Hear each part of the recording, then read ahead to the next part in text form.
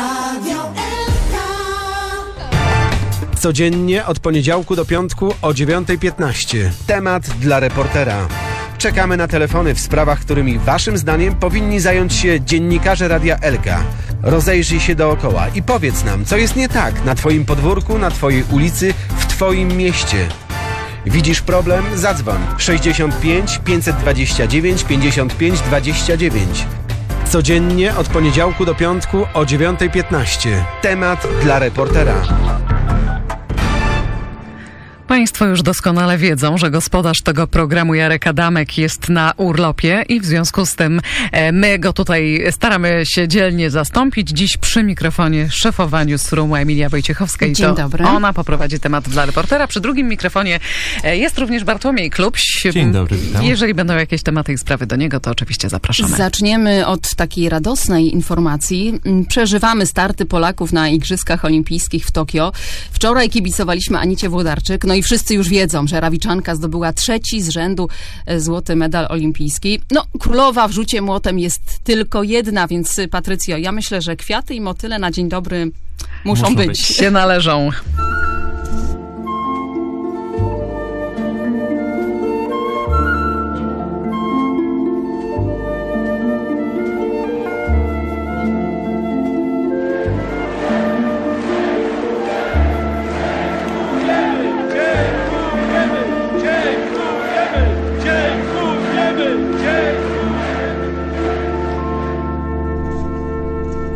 Anita Dziękujemy i zdobył- gratulujemy. Anita zdobyła medal, a właściwie to się wszyscy czujemy, jakbyśmy tak trochę...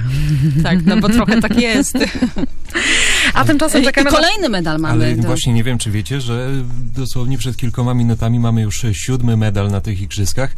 Y, Srebro wywalczyły Agnieszka Skrzypulec i Jolanta Ogar w żeglarstwie, tak więc kolejny medal był łowiony z wody, no ale myślę, że ten niedosyt jest po tych wczorajszym meczu Polaków No jest. z Francuzami w Jest, siatkówce, jest, bo jest, to tak. Mocno liczyliśmy na w końcu medal po wielu, wielu latach. Tak, y, ale już czekamy na telefony od Państwa. Oczywiście 65 529 55 29. y, Dzwońcie z y, różnymi sprawami, problemami, a może też podziękowaniami. Mm, Także czekamy. Dzwońcie z całego regionu naszego nadawania, czyli Leszno, Wschowa, Wolsztyn, Kościan, Gostyń, Jarocin, Rawicz, Góra i wszystkie okolice. E, Wczoraj telefonów było sporo. Temat dla reportera prowadziła Hania Ciesielska. Oczywiście przypominamy też, że nasi reporterzy e, nie urlopują. Bartek Klubś w studio, Filip Wybieralski w terenie. Oni też e, załatwiają Państwa sprawy. No i mamy pierwszy telefon. Dzień dobry.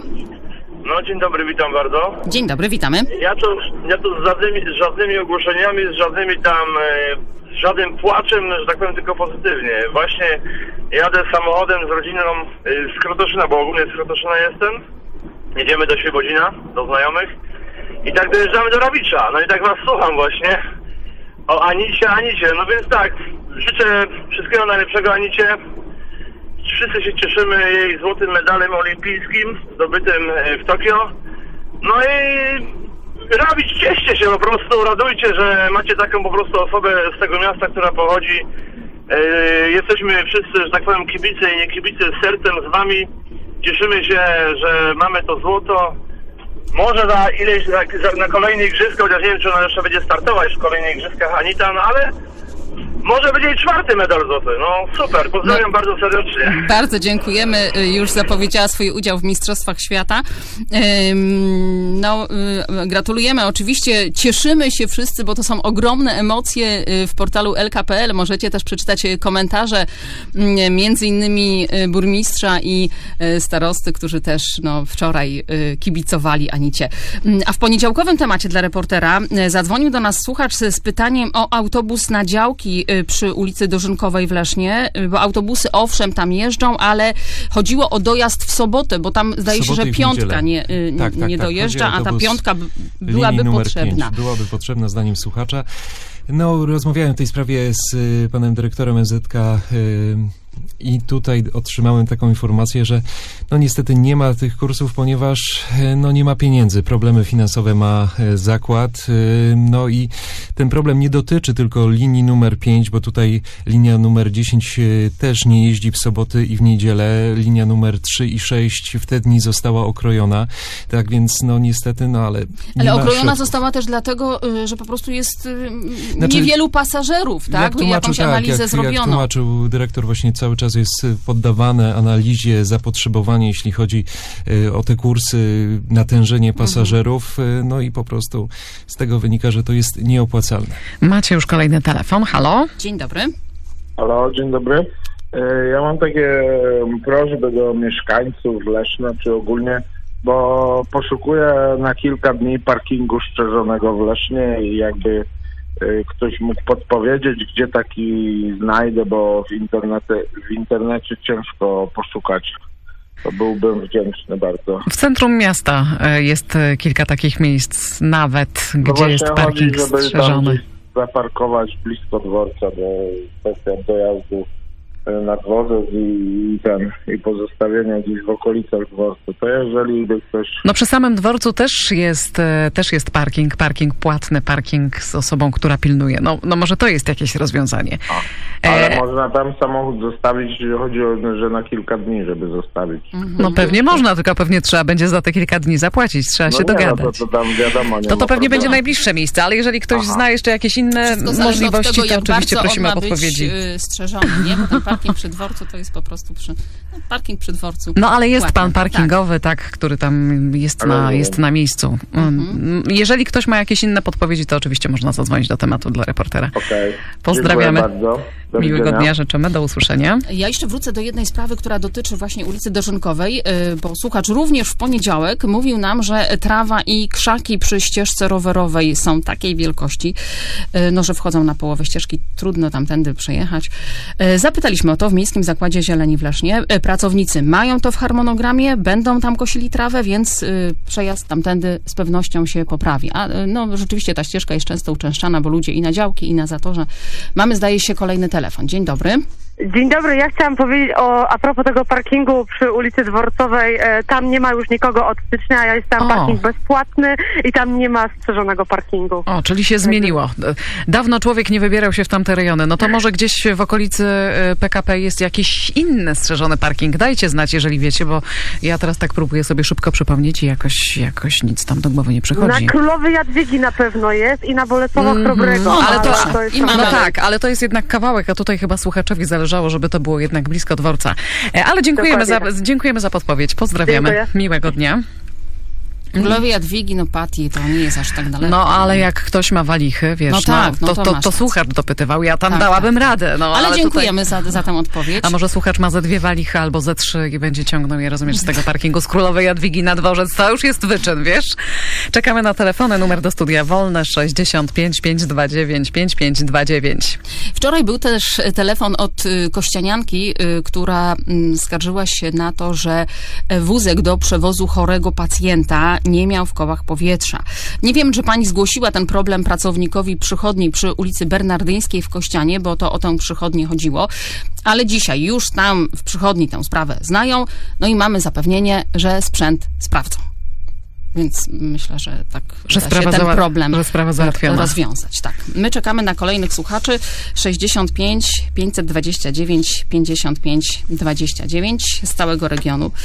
Yy, również Wschowa, Wolsztyn, Góra, Jarocin, Gostyń, Kościan, Rawicz, Leszno. Bartek zajmuje się yy, Wschową między innymi. Między innymi tak. E, Byłeś wczoraj we Wschowie i tam mamy takie y, pozytywne informacje, bo jak się mm, wjeżdża do Wschowy, właściwie no, nie, nie zaraz do Wschowy, ale właściwie do centrum y, to rondo, drugie rondo we Wschowie, zaraz y, w oczy nam się rzuca duży budynek szkoły muzycznej, który przez lata był taki zniszczony i brzydki i tak no, No, wyglądał niezbyt. To nie była dobra wizytówka Wschowy wczoraj i jedna- to się zmieniło. Tak, wczoraj mi jedna mieszkanka powiedziała wprost, że to był obraz nędzy i rozpaczy.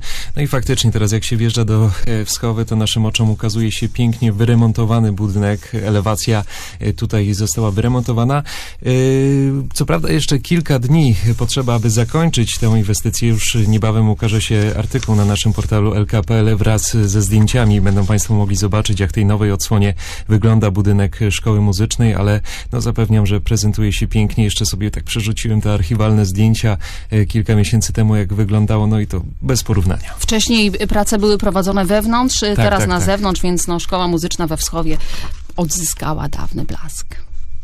I dobrze, bo faktycznie budynek straszył. A my czekamy na telefony. Temat dla reportera trwa do godziny 9.45. Wczoraj telefony od słuchaczy dzwoniły jeszcze prawie do samej 10. Zatem, kochani, przypominamy o tym, że to trzeba po prostu słuchać radia i trzeba pamiętać o tym, że e, na wasze telefony nasi reporterzy czekają między 9.15 a 9.45 codziennie od poniedziałku do piątku. No cisza na razie. To co, jeszcze macie jakiś tam temat do, do omówienia? Czy już No, tak... dla kierowców wa- ważne informacje. To może poczekajcie, bo jest jednak połączenie. Sprawdzimy, kto dzwoni z czym. Halo? Dzień dobry, Halo, dzień dobry. Ja w sprawie dla reportera chciałem. słuchamy pana. Wie pani co, no chciałem pozdrowić e, delegaturę Wielkopolskiego Urzędu Celno-Skarbowego w Kaliszu za ich brak kompetencji. Tam jedyną osobą, która jest kompetentna, to jest pan portier, który mi po tygodniu dzwonienia, on, dodzwoniłem się po godzinach już pracy i on mi podał właściwy numer, gdzie bym miał się dodzwonić, bo tam ludzie, to nie wiem skąd oni się urwali, ale słabo z nimi jest tam naprawdę. Rozumiem, że, że pan tam potrzebował jakiejś informacji i nie mógł pan tam uzyskać Tak jest, od nikogo. tak jest. Od telefonu do telefonu mnie odsyłali, nikt nic nie wiedział o co chodzi, a pan portier, który jest tylko portierem, albo aż portierem w tej firmie, największe kompetencje ma w tej, w tej firmie. I pan, panu pomógł. Tak jest, więc dla niego prosiłbym jakieś fanfary, bo na, należy mu się. No w Kaliszu nas nie słyszą, ale pozdrawiamy i yy, Ale okolice bierzcie Kalisza przykład już tak. Ale okolice Kalisza już tak, Tak, także Jarocin, pozdrawiamy. oczywiście. Tak, tak, tak, tak, tak. Dobrze.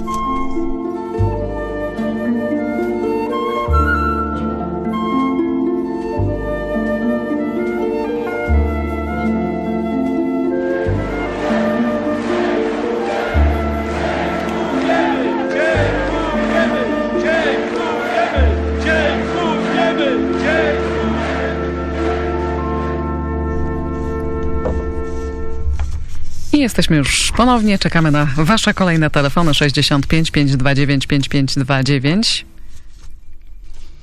Yy, Wrócę może do tych informacji dla kierowców, yy, czy nie? Bo tak kiwasz głową. E, Mamy telefon. Tak, jest jeszcze jeden telefon. Słuchamy. Dzień dobry. Dzień dobry. E, witam, Rafał Zawskowy. Dzień dobry. E, chciałbym pozdrowić wszystkich kierowców oczywiście. E, codziennie rano jeżdżę ze Wschowy do Leszna. Zjeżdżam tym zjazdem na Święciechowe, co nie? Tak. I tam po prawej stronie, na takim zjeździe, stoi takie Volvo na tablicach DLU. E, za szlabanem. To jest taki właśnie ślimaczek, który prowadzi do ronda i w lewo zjeżdżamy na Leszno, a w prawo na Święciechowe, co nie? Nie wiem, może skojarzycie. I to auto stoi tam kupę czasu, a teraz już ma powybijane szyby i kurczę, nie wiem, czy Czyli, czyli wrak. Ktoś go tam porzucił. ktoś go porzucił i teraz nie wiem, co z takimi autami się dzieje, czy one mają jakiś status prawny, czy... No to jest taka dosyć e, skomplikowana sprawa, bo e, to też zależy od tego, czy ma tablice rejestracyjne, czy jeśli blokuje drogę albo y, przeszkadza, no to owszem, to służby się tym mogą zająć, ale to też jest ważne, czy ma opłacone OC. No, wiele jest takich rzeczy i wiele telefonów dotyczących wraków już mieliśmy, bo też na osiedlach często stoją samochody, które no, niby nie przeszkadzają, bo one nie utrudniają przejazdu, ale blokują po prostu miejsce innym, y, innym kierowcom, którzy chętnie by z tego miejsca skorzystali. Już w niektórych nawet tam y, trawa rośnie, opony są, y, są już bez powietrza, ale, ale ma tabli- no, jest to sprawa dosyć skomplikowana. My zapytamy o, o to Volvo, zdaje się, tak? Pan mówił, że to, Tak, Tak jest. tak, że, że to jest. Na zjeździe e, z S5 Mhm. To właśnie jak jest zjazd Święciechowa. E, ze Wschowy jak się jedzie, tak, Leszno zachód w stronę Mhm. północy czy południa, nieważne. Dobrze. W każdym y, razie stoi tam taki zaszlabany już mówię, kurczę, stał tam parę tygodni. Mówię, kurde, ciekawe, czyj to jest. a potem tak mówię, zapytam, może właśnie tutaj do was I, zadzwonię. I wygląda coraz gorzej z tego, co pan mówi. No i już ma powybijane szyby, już nie ma tablic, więc podejrzewam, że tam zainteresowani są tym autem, ale niekoniecznie może właściciele. Z, zapytamy w odpowiednich y, urzędach, y, czy wiedzą o tym i co mogą y, zrobić, żeby ten, to auto już nie szpeciło. Kiedyś w Boszkowie taka była sytuacja, że stał samochód i on stał tam bardzo długo, w końcu nawet chyba ktoś go podpalił y, i, został uprzątnięty. Oczywiście nie, nie, nie zachęcamy do tego, absolutnie. Zapytamy i damy znać. Bardzo dziękujemy za ten telefon. Dzięki, pozdrawiam, wszystkiego dobrego. Pozdrawiamy. Y, I chyba czas na przerwę. Dzisiejszy temat dla reportera potrwa jeszcze tylko 12 minut. W studiu jest szefowa newsroomu Emilia Wojciechowska, która zastępuje Jarka Adamka, a my czekamy na Państwa telefony. z całego regionu, jak już y, kilka razy powtarzaliśmy. Telefon był ze wschowy. I Mamy kolejny. Zapraszamy i słuchamy. Dzień dobry. Dzień dobry.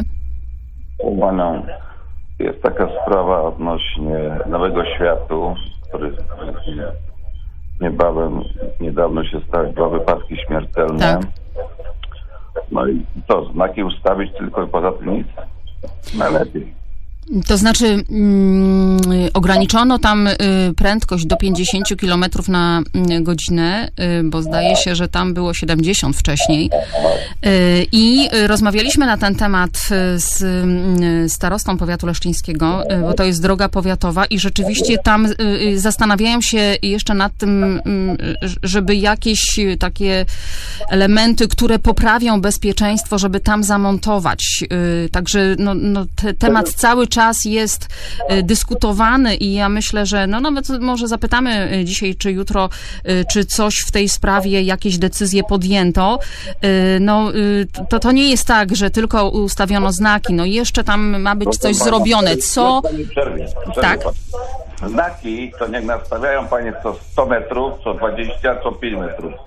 Debili jest Pani tyle, że znaki nie zajęły. Progi zwalniające, nic więcej.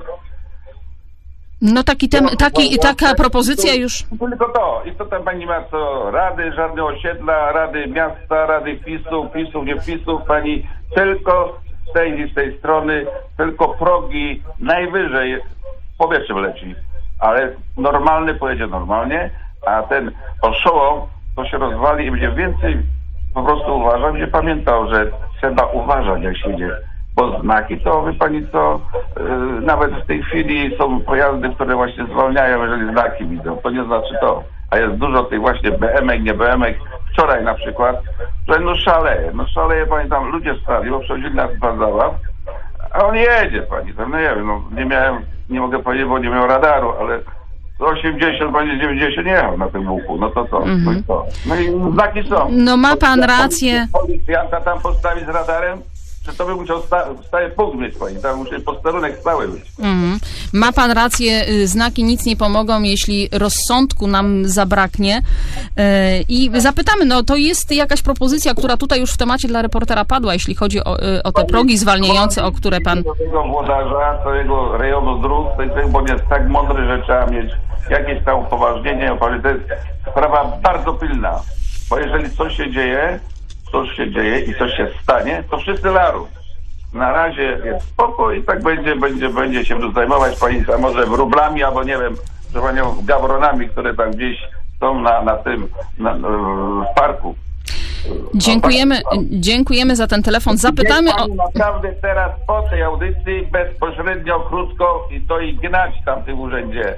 Progi to nie jest tak szybko, nie jest tak założ, ciężko założyć. założyć. Dobrze, zapytamy o to, czy to jest możliwe, czy przychylają się do tej propozycji.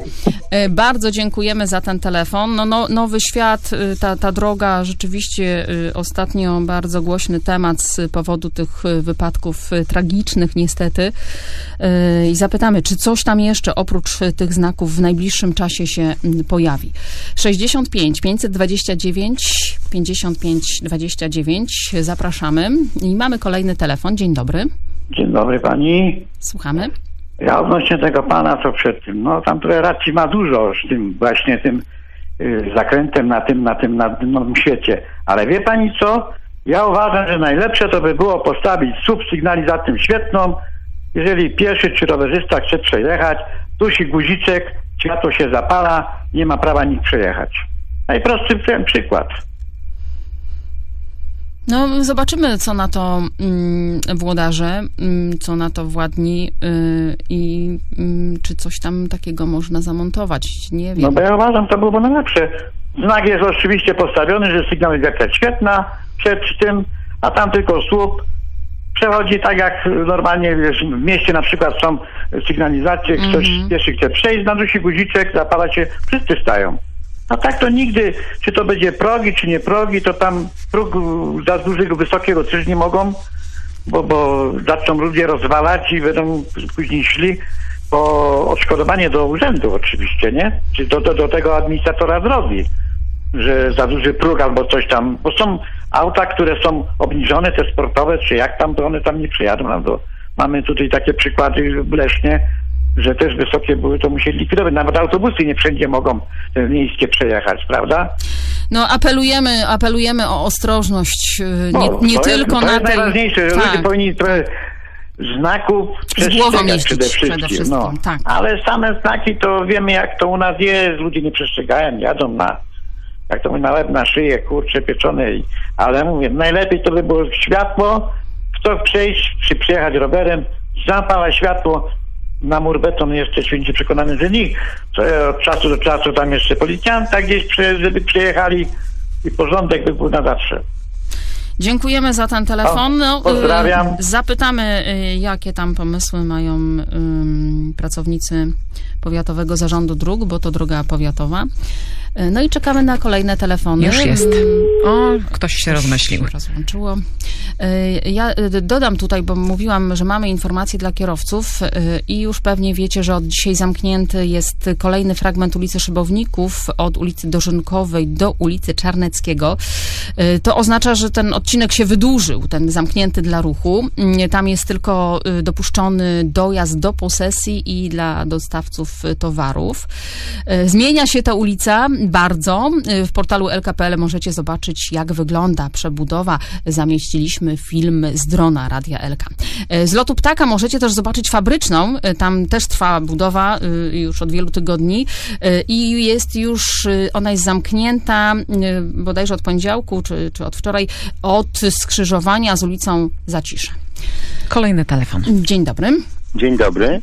Słuchamy pana. Proszę panią, ja znowu dzwonię w tej, a propos tej feralnej drogi. Ja Tak. dzwoniłem, taki elaborat miałem y, w poniedziałek i ten pan tutaj o światłach mówi, to chyba nie mam pojęcia, jaka tam byłaby kolejka, bo co chwilę przechodzą tam ludzie i byłoby zapylenie, wychodzą i zapalą las. Nie, ten poprzednik miał rację, powiedział to samo co ja. Z tymi Znak- progami.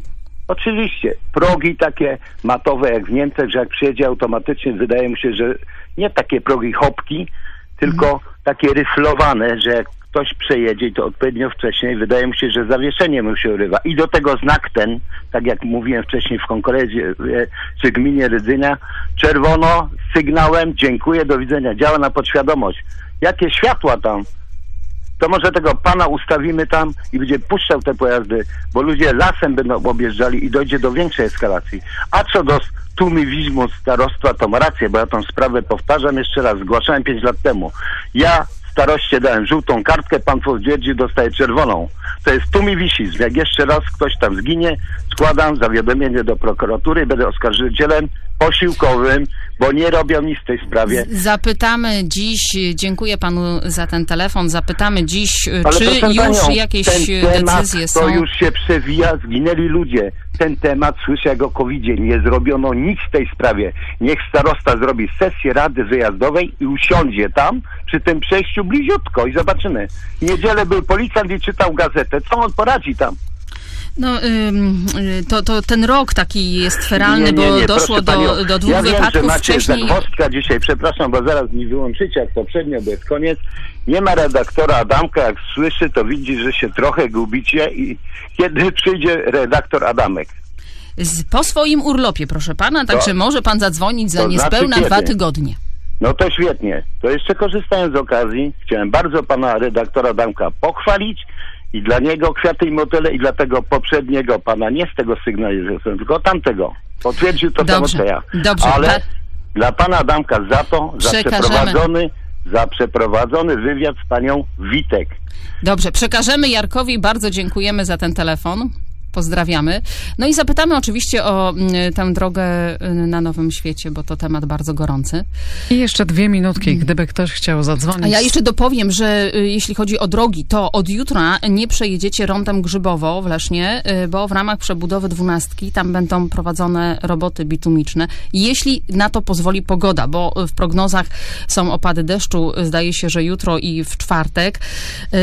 Jeśli Ju- będą prowadzone roboty, no to tak, to y, Jutro mamy tak, bo jutro czwartek. mamy czwartek. No, y, to, to te roboty potrwają do niedzieli i kierowcy będą musieli korzystać z objazdów. Ci, którzy pojadą osobówkami, y, to będą kierowani przez osiedle Grzybowo, na samochody ciężarowe przez Nową Wieś i Nowy Świat. No i z, znowu ten Nowy Świat wraca. Ostatni telefon dziś. Dzień dobry. Dzień dobry. Ja jestem mieszkanką Wschowy i ja dzwonię z zapytaniem, jest możliwość, żeby ktoś tam dotarł do osoby, która zarządza y, skateparkiem we Wschowie. Wygląda to makabrycznie, to jest przy stadionie u nas. No młodzież nie ma gdzie skakać tymi rowerami, a fajnie się bawią. I tu mówię, przez, przez Radio Elka chciałabym prosić jakąś interwencję. Bo Ale chodzi o to, że on jest zniszczony, tak? Y, Tak, Uszkodzony? on jest uszkodzony, jest tam powiedzmy te biało-czerwone, te takie te y, za tymi, tymi wstążkami zrobione, że nie wolno jeździć, po prostu jest niezadbany i nikt, nie wiem, nie chce tego remontować. Szkoła muzyczna nasza, owszem, ładnie wszystko pięknie wygląda, ale mówię tu na temat tej parku to jest makabra. Czyli on jest, zam, on jest w ogóle y, zamknięty, jest tak? czynny, nie, nie, on Ach, jest, jest. czynny, ale po prostu nie można z wszystkiego korzystać, bo są połamane, mówię, nikt tam nie nadzoruje. A młodzież Mhm. bardzo często jeździ do Parku Woszczyńskiego, gdzie naprawdę może dojść do tragedii na tych górkach, a jednak tu byłoby bezpiecznie na tym skateparku. No zwłaszcza, że wakacje mamy czasu No sporo. dokładnie, a młodzież, mówię, młodzież dzieci nie mają po prostu gdzie sobie trochę potrenować tymi rowerami, bo bardzo fajną mamy młodzież, fajnie skacze, ma możliwości, ale nie ma gdzie, o tak. Mhm, dobrze, bardzo dziękujemy za ten telefon. Dziękuję Bartek ślicznie. Klubsi jest tutaj i on się akurat terenem powiatu wschowskiego e, zajmuje, także na pewno e, Zadzwonimy do gminy. tak, e, sprawdzimy jak ten skatepark wygląda i czy coś z nim mm, e, tutaj e, władze Będzie zamierzają zrobić, żeby dzieciaki jeszcze w wakacje mogły się parkiem nacieszyć. E, My już dziękujemy e, i zapraszamy jutro od 9.15. Radio L.